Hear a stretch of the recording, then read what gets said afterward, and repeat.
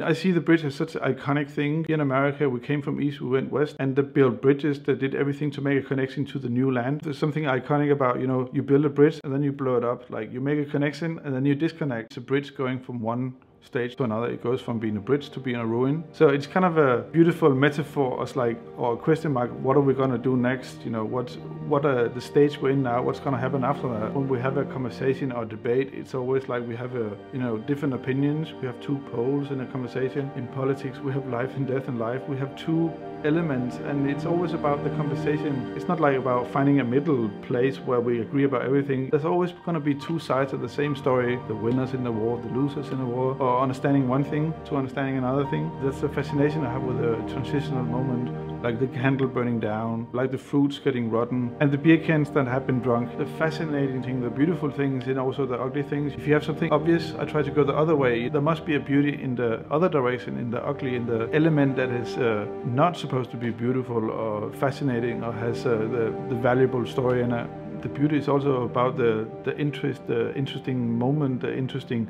aspect, the in interesting conversation. Searching about those in the non-obvious elements is very fascinating. Of course, you see patterns in story, but it's nice to be surprised about an element you haven't seen before. There must be, in this transition, in this transitional moment, there must be a new way, a third way of looking at it. That's what I'm looking for, and that's what I'm trying to illustrate.